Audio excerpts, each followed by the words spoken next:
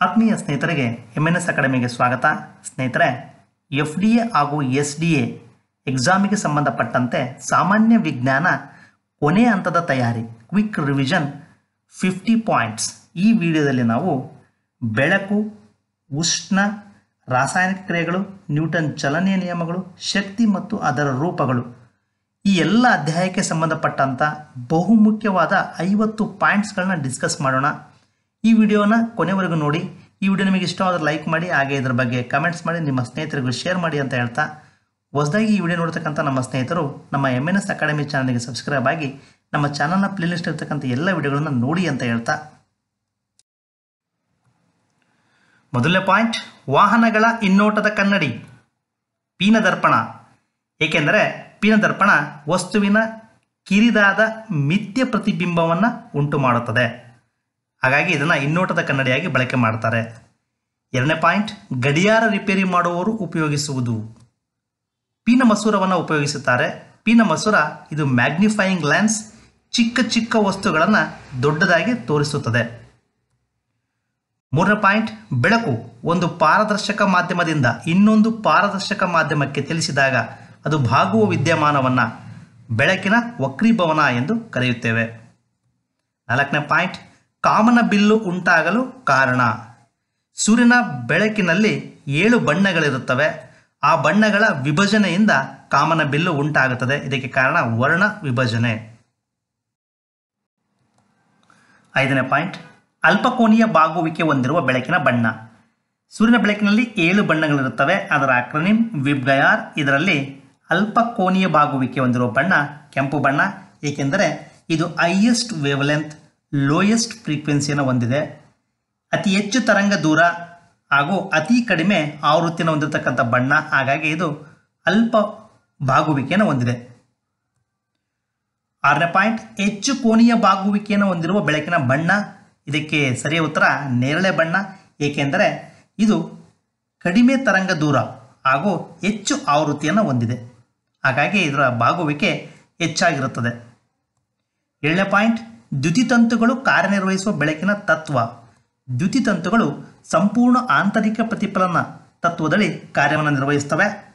Total internal reflection ಎಂಟನೇ point, ಮರೀಚಿಕೆ ಉಂಟಾಗಲು ಕಾರಣ. ಸರಿ, ಉತ್ತರ, ಸಂಪೂರ್ಣ ಆಂತರಿಕ ಪ್ರತಿಫಲನ. ಅತ್ಯಂತ ಹೆಚ್ಚಿನ ತಾಪಮಾನ ದಿನಗಳಲ್ಲಿ ಮರೀಚಿಕೆ ಉಂಟಾಗುತ್ತದೆ. ಅತಿ ಹೆಚ್ಚು ಬಿಸಿಲಿರಬೇಕಾದ್ರೆ ಉದ್ದವಾದ ರಸ್ತೆಯುದ್ದಕ್ಕೂ ನಾವು ದೃಷ್ಟಿ ಆಯಿಸಿದಾಗ ನಮಗೆ ಮೇಲ್ಪದದಲ್ಲಿ ನೀರಿದೆ ಎಂಬ ಭ್ರಮೆ ಉಂಟಾಗುತ್ತದೆ. ಅದೇ ಮರೀಚಿಕೆ. ಇದಕ್ಕೆ ಕಾರಣ ಸೂರ್ಯನಿಂದ ಬರುವ ಬೆಳಕು ಭೂಮಿಯ ಸಮೀಪದಲ್ಲಿ ಬಿಸಿಯಾದ ಗಾಳಿಯಿಂದ ಬಾಗಲ್ಪಡುತ್ತದೆ. ಇದನ್ನೇ ಸಂಪೂರ್ಣ ಆಂತರಿಕ ಪ್ರತಿಫಲನ ಅದರಿಂದ ಮರೀಚಿಕೆ ಉಂಟಾಗುತ್ತದೆ. ಒಂಬತ್ತನೇ ಪಾಯಿಂಟ್. ದಂತ ವೈದ್ಯರು ರೋಗಿಗಳ ಹಲ್ಲುಗಳ ದೊಡ್ಡ ಪ್ರತಿಬಿಂಬಗಳ ಪಡೆಯಲು ಸೌರ ಕುಲಿಮೆಗಳಲ್ಲಿ ಸೂರ್ಯನ ಕಿರಣಗಳನ್ನು ಕೇಂದ್ರೀಕರಿಸಲು ಬಳಸುವ ದರ್ಪಣ, ನಿಮ್ನ ದರ್ಪಣ. ಹತ್ತನೇ ಪಾಯಿಂಟ್ ಸಮೀಪದ ವಸ್ತುಗಳನ್ನು ಸ್ಪಷ್ಟವಾಗಿ ಹಾಗೂ ದೂರದ ವಸ್ತುಗಳನ್ನು ಸ್ಪಷ್ಟವಾಗಿ ನೋಡಲು ಸಾಧ್ಯವಿಲ್ಲದ ದೃಷ್ಟಿದೋಷ. ಸಮೀಪ ದೃಷ್ಟಿದೋಷ, ಇದಕ್ಕೆ ಮಯೋಫಿಯಾ ಅಂತ ಕರೀತಾರೆ. ಈ ದೃಷ್ಟಿದೋಷ ಉಳ್ಳವರು ಸಮೀಪದ ವಸ್ತುಗಳು ಅವರಿಗೆ ಸ್ಪಷ್ಟವಾಗಿ ಕಾಣ್ತವೆ, ದೂರದ ವಸ್ತುಗಳು ಅಸ್ಪಷ್ಟವಾಗಿ ಗೋಚರಿಸುತ್ತವೆ. ಹನ್ನೊಂದನೇ ಪ್ರಶ್ನೆ, ಸಮೀಪ ದೃಷ್ಟಿದೋಷ ನಿವಾರಣೆಗಾಗಿ ಬಳಸುವ ಮಸೂರ. ನಿಮ್ನ ಮಸೂರವನ್ನು ಬಳಕೆ ಮಾಡಿ ಸಮೀಪ ದೃಷ್ಟಿದೋಷವನ್ನು ನಿವಾರಣೆ ಮಾಡುತ್ತಾರೆ. ಹನ್ನೆರಡನೇ ಪಾಯಿಂಟ್, ದೂರದ ವಸ್ತುಗಳು ಸ್ಪಷ್ಟವಾಗಿ ಕಾಣ್ತವೆ ಹಾಗೂ ಸಮೀಪದ ವಸ್ತುಗಳು ಸ್ಪಷ್ಟವಾಗಿ ನೋಡಲು ಸಾಧ್ಯವಿಲ್ಲದ ದೃಷ್ಟಿದೋಷ. ಇದಕ್ಕೆ ದೂರದೃಷ್ಟಿ ದೋಷ ಹೈಪರ್ ಮೆಟ್ರೋಫಿಯಾ ಅಂತ ಕರೀತಾರೆ. ದೂರದೃಷ್ಟಿ ಉಳ್ಳವರು ಅವರಿಗೆ ದೂರದ ವಸ್ತುಗಳು ಕಾಣ್ತವೆ, ಸಮೀಪದ ವಸ್ತುಗಳು ಸ್ಪಷ್ಟವಾಗಿ ಕಾಣೋದಿಲ್ಲ. ಹದಿಮೂರನೇ ಪಾಯಿಂಟ್ ದೂರದೃಷ್ಟಿ ದೋಷ ನಿವಾರಣೆಗಾಗಿ ಬಳಸುವ ಮಸೂರ ಯಾವುದು? ಅದಕ್ಕೆ ಸರಿ ಉತ್ತರ, ಪೀನ ಮಸೂರ. ಪೀನ ಮಸೂರವನ್ನು ಬಳಕೆ ಮಾಡಿ ದೂರದೃಷ್ಟಿ ದೋಷವನ್ನು ನಿವಾರಣೆ ಮಾಡಬಹುದು. ಹದಿನಾಲ್ಕನೇ ಪಾಯಿಂಟ್, ಮಾನವನ ಕಣ್ಣು ವಸ್ತುವಿನ ಪ್ರತಿಬಿಂಬವನ್ನು ಉಂಟು ಮಾಡುವ ಭಾಗ. ಇದಕ್ಕೆ ಸರಿ ಉತ್ತರ, ರೆಟಿನಾ. ಇಲ್ಲಿ ವಸ್ತುವಿನ ಪ್ರತಿಬಿಂಬ ಉಂಟಾಗುತ್ತದೆ. ಅದಕ್ಕೆ ಅಕ್ಷಿಪಟಲ ಅಂತಲೂ ಕರೆಯುತ್ತಾರೆ. ಹದಿನೈದನೇ ಪಾಯಿಂಟ್, ನಕ್ಷತ್ರಗಳ ಮಿನುಗುವಿಕೆಗೆ ಕಾರಣ. ಬೆಳಕಿನ ವಕ್ರೀಭವನ ಏಕೆಂದರೆ ಬೆಳಕು ನಿರ್ವಾತದಿಂದ ಭೂಮಿಯ ವಾತಾವರಣವನ್ನು ಪ್ರವೇಶ ಮಾಡಿದಾಗ. ನಿರ್ವಾತ ವಿರಳ ಮಾಧ್ಯಮ. ಭೂಮಿಯ ವಾತಾವರಣ ಅದಕ್ಕೆ ಕಂಪೇರ್ ಮಾಡಿದಾಗ ಸಾಂದ್ರ ಮಾಧ್ಯಮ. ಹೀಗೆ ಒಂದು ಮಾಧ್ಯಮದಿಂದ ಇನ್ನೊಂದು ಮಾಧ್ಯಮಕ್ಕೆ ಪ್ರವೇಶಿಸಿದಾಗ ತನ್ನ ದಿಕ್ಕನ್ನು ಬದಲಾಯಿಸಿಕೊಳ್ತದೆ ಹಾಗಾಗಿ ನಮಗೆ ನಕ್ಷತ್ರಗಳು ಮಿನುಗಿದಂತೆ ಕಾಣುತ್ತದೆ. ಹದಿನಾರನೇ ಪಾಯಿಂಟ್, ಆಕಾಶದ ನೀಲಿ ಬಣ್ಣ. ಸಮುದ್ರದ ಆಳದಲ್ಲಿನ ನೀರಿನ ಬಣ್ಣ. ಸೂರ್ಯೋದಯ ಮತ್ತು ಸೂರ್ಯಾಸ್ತದ ಸಮಯದಲ್ಲಿ ಸೂರ್ಯನ ಕೆಂಪಾಗುವಿಕೆ ಇದಕ್ಕೆಲ್ಲ ಕಾರಣ. ಬೆಳಕಿನ ಚದುರುವಿಕೆ, ಏಕೆಂದರೆ ವಾತಾವರಣದಲ್ಲಿರ್ತಕ್ಕಂಥ ಕಣಗಳು ಬೆಳಕಿನಲ್ಲಿ, ಬೆಳಕಿನಲ್ಲಿರ್ತಕ್ಕಂಥ ಬಣ್ಣಗಳನ್ನು ಚದುರಿಸ್ತವೆ. ಹಾಗಾಗಿ ನಮಗೆ ಆಕಾಶದ ಬಣ್ಣ ನೀಲಿಯಾಗಿ, ಸಮುದ್ರದ ಆಳದ ನೀರ ಬಣ್ಣ ನೀಲಿಯಾಗಿ, ಸೂರ್ಯೋದಯ, ಸೂರ್ಯಾಸ್ತ ಸಮಯದಲ್ಲಿ ಕೆಂಪಾಗಿ ಕಾಣುತ್ತದೆ. ಹದಿನೇಳನೇ ಪಾಯಿಂಟ್, ಉಷ್ಣದ ಎಸ್ಐ ಮಾನ, ಜೌಲ್, ತಾಪದ ಎಸ್ಐ ಮಾನ, ಕೆಲ್ವಿನ್. ಇದು ತಾಪ ವಸ್ತುವಿನ ಬಿಸಿ ಅಥವಾ ತಣ್ಣನೆಯ ಮಟ್ಟದ ಅಳತೆಯಾಗಿದೆ. ಹತ್ತೊಂಬತ್ತನೇ ಪಾಯಿಂಟ್, ನೀರಿನ ಅಸಂಬದ್ಧ ವಿಕಾಸಕ್ಕೆ ಅನ್ವಯಿಸುವ ಉಷ್ಣತೆಯ ವ್ಯಾಪ್ತಿ. ಸೊನ್ನೆಯಿಂದ ನಾಲ್ಕು ಡಿಗ್ರಿ ಸೆಲ್ಸಿಯಸ್.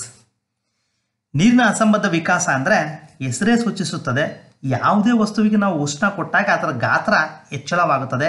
ತಂಪು ಮಾಡಿದಾಗ ಗಾತ್ರ ಕುಗ್ಗುತ್ತದೆ ನೀರಿಗೆ ಒಂದು ವಿಶೇಷವಾದ ಗುಣ ಇದೆ. ಸೊನ್ನೆ ಡಿಗ್ರಿಯಿಂದ ನಾಲ್ಕು ಡಿಗ್ರಿಯವರೆಗೂ ನಾವು ಉಷ್ಣ ಕೊಟ್ಟಾಗ ಅದರ ಗಾತ್ರ ಹಿಗ್ಗುವ ಬದಲು ಕುಗ್ಗುತ್ತದೆ. ನಾಲ್ಕು ಡಿಗ್ರಿಯ ನಂತರ ಅದರ ಗಾತ್ರ ಹಿಗ್ಗುತ್ತದೆ ಇದಕ್ಕೆ ನೀರಿನ ಅಸಂಬದ್ಧ ವಿಕಾಸ ಅಂತ ಕರೀತಾರೆ. ಅದರ ಉಷ್ಣತೆ ವ್ಯಾಪ್ತಿ ಸೊನ್ನೆಯಿಂದ ನಾಲ್ಕು ಡಿಗ್ರಿ ಸೆಲ್ಸಿಯಸ್. ಇಪ್ಪತ್ತನೇ ಪಾಯಿಂಟ್, ಪಾತ್ರೆಯಲ್ಲಿ ಅಡಿಗೆ ಮಾಡುವುದಕ್ಕಿಂತ ಪ್ರೆಷರ್ ಕುಕ್ಕರ್ನಲ್ಲಿ ಬೇಗ ಆಗುತ್ತದೆ ಏಕೆ? ಪ್ರೆಷರ್ ಕುಕ್ಕರ್ನಲ್ಲಿ ಆವಿ ಹೊರಹೋಗುವುದನ್ನು ತಡೆಯುವುದರಿಂದ ನೀರಿನ ಕುದಿಯುವ ಬಿಂದು ಹೆಚ್ಚಾಗಿ ಆಹಾರ ಬೇಗನೆ ಬೇಯುತ್ತದೆ. ಈಗ ತಾಪಮಾಪನ ಪದ್ಧತಿಗಳಲ್ಲಿ ವಿವಿಧ ತಾಪಗಳನ್ನು ನೋಡೋಣ. ಮೊದಲನೇದಾಗಿ ನೀರಿನ ದ್ರವಣ ಬಿಂದು.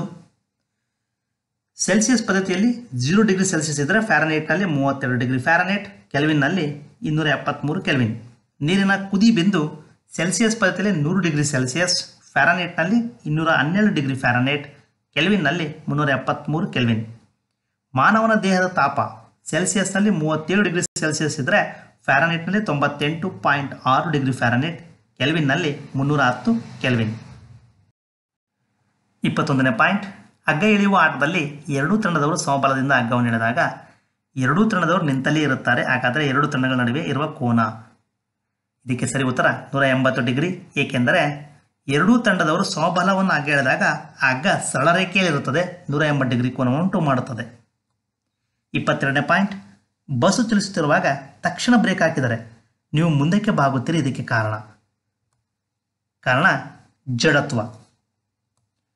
ಇಪ್ಪತ್ತ್ಮೂರು. ಜೆಟ್ ಪ್ಲೇನ್ ಮತ್ತು ರಾಕೆಟ್ಗಳು ಕೆಲಸ ನಿರ್ವಹಿಸುವ ನಿಯಮ.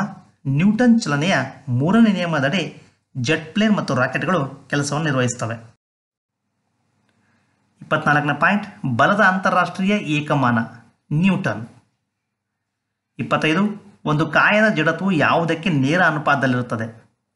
ರಾಶಿಗೆ ನೇರ ಅನುಪಾತದಲ್ಲಿರುತ್ತದೆ. ರಾಶಿ ಹೆಚ್ಚಾದಷ್ಟು ಜಡತ್ವ ಹೆಚ್ಚಿರುತ್ತದೆ. ರಾಶಿ ಕಡಿಮೆ ಆದಷ್ಟು ಜಡತ್ವ ಕಡಿಮೆ ಇರುತ್ತದೆ. ಇಪ್ಪತ್ತಾರು, ಪ್ರತಿಯೊಂದು ಕ್ರಿಯೆಗೂ ಸಮನಾದ ಮತ್ತು ವಿರುದ್ಧವಾದ ಪ್ರತಿಕ್ರಿಯೆ ಇರುತ್ತದೆ. ಇದು ಯಾವ ನಿಯಮ? ಇದು ನ್ಯೂಟನ್ ಚಲನೆಯ ಮೂರನೇ ನಿಯಮ. ಇಪ್ಪತ್ತೇಳನೇ ಪಾಯಿಂಟ್ ಚಲಿಸುತ್ತಿರುವ ಬಸ್ನಲ್ಲಿ ಇಟ್ಟಿರುವ ಸೂಟ್ ಕೇಸ್ಗಳು ತಕ್ಷಣ ಬ್ರೇಕ್ ಹಾಕಿದಾಗ ಮುಂದಕ್ಕೆ ಬರುತ್ತವೆ. ಇದಕ್ಕೆ ಕಾರಣ ಜಡತ್ವ. ಇಪ್ಪತ್ತೆಂಟು, ಒಂದು ಕಾಯದ ಸಂವೇಗವು ಡ್ಯಾಶ್ ಆಗಿರುತ್ತದೆ. ಸಂವೇಗ ಇದು ಒಂದು ವಸ್ತುವಿನ ರಾಶಿ ಮತ್ತು ಅದರ ವೇಗಗಳ ಗುಣಲಬ್ಧಕ್ಕೆ ಸಮನಾಗಿರುತ್ತದೆ. ಇದನ್ನು ನಾವು ಮೊಮೆಂಟಮ್ ಎಂದು ಕರೀತೇವೆ. ಮಾಸ್ ಇಂಟು ವೆಲಾಸಿಟಿ ಇಪ್ಪತ್ತೊಂಬತ್ತು ಒಂದು ರೂಪದಿಂದ ಇನ್ನೊಂದು ರೂಪಕ್ಕೆ ಸುಲಭವಾಗಿ ರೂಪಾಂತರಿಸುವ ಶಕ್ತಿಯ ವಿಧ. ಸರಿ, ಉತ್ತರ, ವಿದ್ಯುತ್. ಇದನ್ನು ಸುಲಭವಾಗಿ ಒಂದು ರೂಪದಿಂದ ಮತ್ತೊಂದು ರೂಪಕ್ಕೆ ಪರಿವರ್ತನೆ ಮಾಡಬಹುದು. ಮೂವತ್ತನೇ ಪಾಯಿಂಟ್ ಅಣೆಕಟ್ಟಿನಲ್ಲಿ ಸಂಗ್ರಹವಾಗಿರುವ ನೀರು, ಎಳೆಯಲ್ಪಟ್ಟ ರಬ್ಬರ್ ಬ್ಯಾಂಡ್, ಒತ್ತಲ್ಪಟ್ಟ ಸ್ಪ್ರಿಂಗ್, ಇವುಗಳಲ್ಲಿರುವ ಶಕ್ತಿ. ಅದು ಪ್ರಚನ್ನ ಶಕ್ತಿ, ಏಕೆಂದರೆ ಯಾವುದೇ ಒಂದು ವಸ್ತು ಅದರ ಸ್ಥಾನದಿಂದ ಅಥವಾ ಅದರ ವಿರೂಪತೆಯಿಂದಾಗಿ ಶಕ್ತಿಯನ್ನು ಹೊಂದಿದ್ದರೆ ಅದನ್ನು ನಾವು ಪ್ರಚನ ಶಕ್ತಿ ಎಂದು ಕರೆಯುತ್ತೇವೆ. ಮೂವತ್ತೊಂದು, ಜಲವಿದ್ಯುತ್ ಸ್ಥಾವರದಲ್ಲಿ ಶಕ್ತಿ ಬದಲಾವಣೆಯ ಸರಿಯಾದ ಹಂತಗಳು.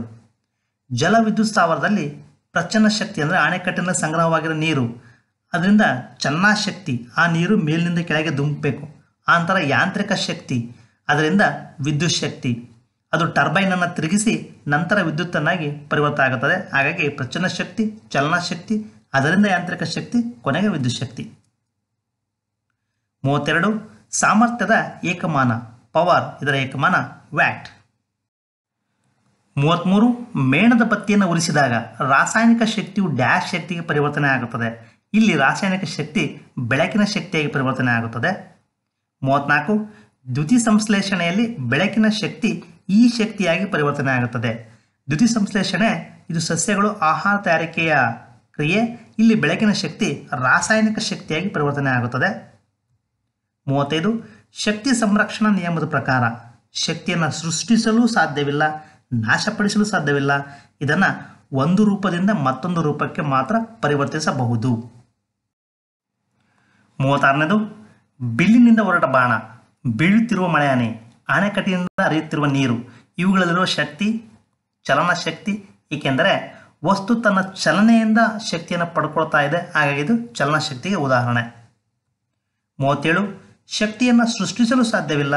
ಅದನ್ನು ಒಂದು ರೂಪದಿಂದ ಮತ್ತೊಂದು ರೂಪಕ್ಕೆ ಪರಿವರ್ತಿಸಬಹುದಾಗಿದೆ. ಹಾಗಾದರೆ ಇದನ್ನು ನಾವು ಶಕ್ತಿ ಸಂರಕ್ಷಣಾ ನಿಯಮ ಎಂದು ಕರೆಯುತ್ತೇವೆ.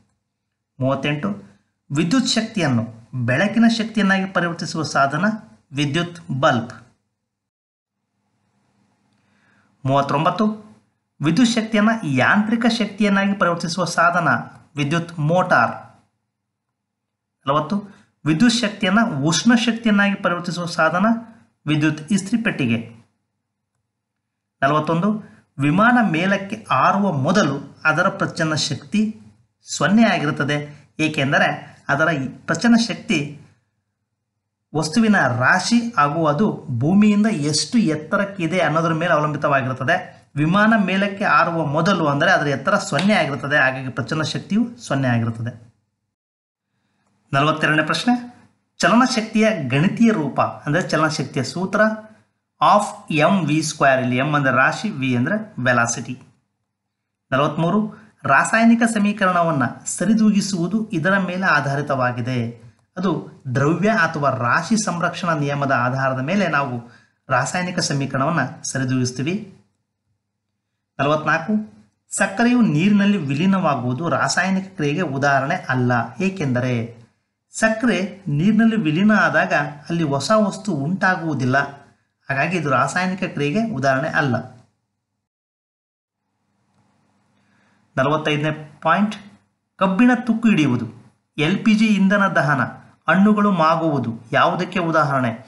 ಇವೆಲ್ಲವೂ ಸಹಿತ ರಾಸಾಯನಿಕ ಬದಲಾವಣೆಗೆ ಉದಾಹರಣೆ. ಏಕೆಂದರೆ ಕಬ್ಬಿಣ ತುಕ್ಕು ಹಿಡಿದಾಗ ಹೊಸ ವಸ್ತು ಉತ್ಪಾದನೆ ಆಗುತ್ತದೆ. ಎಲ್ ಪಿ ಜಿ ಇಂಧನ ದಹನ ಆದಾಗ ಹೊಸ ವಸ್ತು ಉತ್ಪಾದನೆ ಆಗುತ್ತದೆ.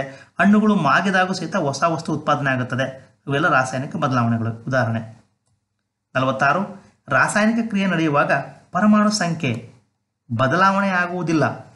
ರಾಸಾಯನಿಕ ಕ್ರಿಯೆಯಲ್ಲಿ ಭಾಗವಹಿಸುವುದು ಅತ್ಯಂತ ಹೊರ ಕವಚದ ಇಲೆಕ್ಟ್ರಾನ್ಗಳು ಭಾಗವಹಿಸ್ತವೆ ಪರಮಾಣು ಸಂಖ್ಯೆ ಅಂತಂದರೆ ಪ್ರೋಟಾನ್ಗಳ ಸಂಖ್ಯೆ. ಆ ಪ್ರೋಟಾನ್ಗಳು ಬೀಜ ಕೇಂದ್ರದಲ್ಲಿರ್ತವೆ ಅವು ರಾಸಾಯನಿಕ ಕ್ರಿಯೆಯಲ್ಲಿ ಭಾಗವಹಿಸುವುದಿಲ್ಲ.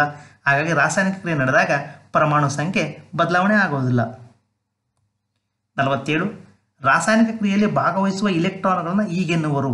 ಇವುಗಳಿಗೆ ವೇಲೆನ್ಸಿ ಇಲೆಕ್ಟ್ರಾನ್ಗಳು ಎಂದು ಕರೆಯುತ್ತಾರೆ. ನಲವತ್ತೆಂಟನೇ ಪಾಯಿಂಟ್, ಸಾಬೂನು ತಯಾರಿಕೆಯಲ್ಲಿ ಉಪಯೋಗಿಸುವ ಎಣ್ಣೆಯ ಮುಖ್ಯ ಮೂಲಗಳೆಂದರೆ ಪ್ರಾಣಿ ಮತ್ತು ಸಸ್ಯ ಮೂಲಗಳು. ನಲವತ್ತೊಂಬತ್ತು, ಶೈತ್ಯಕಾರಕಗಳಲ್ಲಿ ಬಳಸುವ ಕ್ಲೋರಿನ್ ಯುಕ್ತ ಸಂಯುಕ್ತ C F C chlorofluorocarbon ಐವತ್ತು, ಆಮ್ಲ ಮಳೆಗೆ ಕಾರಣವಾದ ಅನಿಲ, ಸಲ್ಫರ್ ಡೈಆಕ್ಸೈಡ್, ನೈಟ್ರಸ್ ಆಕ್ಸೈಡ್ಗಳು. ಆದ್ಮೇಲೆ ಇದುವರೆಗೂ ನಮ್ಮ ವಿಡಿಯೋನ ನೋಡಿದ್ದಕ್ಕಾಗಿ ಧನ್ಯವಾದಗಳು.